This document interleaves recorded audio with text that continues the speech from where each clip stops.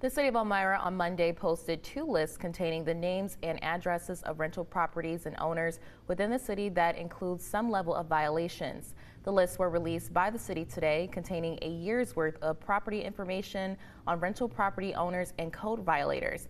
The list shows the address of buildings with violations, the owner's name, the owner's home address, the status of the violation, the complaint type, and the details of the complaint.